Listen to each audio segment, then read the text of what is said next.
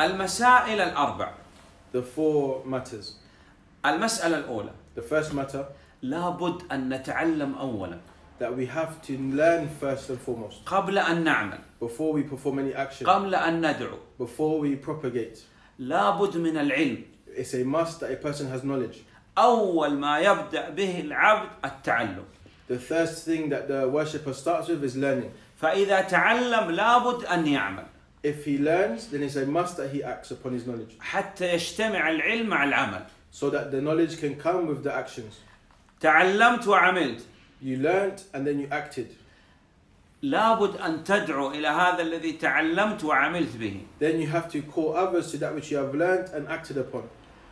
وتصبر أولا على التعلم And you have to bear patience firstly upon learning.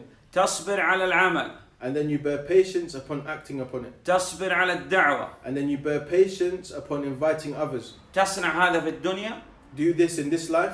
بإذن الله تجيب عن أسئلة القبر With Allah's permission, you answer the questions of the grave. الدليل من القرآن على هذه المسائل الأربع The evidence from the Quran regarding these four matters we have mentioned, سورة العصر the chapter of Asr. نعم الله سبحانه وتعالى أقسم أن كل إنسان فهو خاسر Allah has taken an oath that every person is in a state of loss, إلا من يأتي بهذه المسائل الأربع except for the one who comes with these four previously mentioned matters. تريد أن ك- أن تكون من الرابحين أو من غير الرابحين Do you want to be, do you want to be of those who profit or those who do not profit? لا أحد يريد الخسارة حتى ولو كان من الكافرين Nobody wants loss, even if they're upon the, from the people of disbelief. إذا لابد أن يأتي بهذه المسائل الأربع Then it is a must that we come with these four mentioned matters. الصبر ينقسم إلى ثلاثة أقسام Patience is of three types.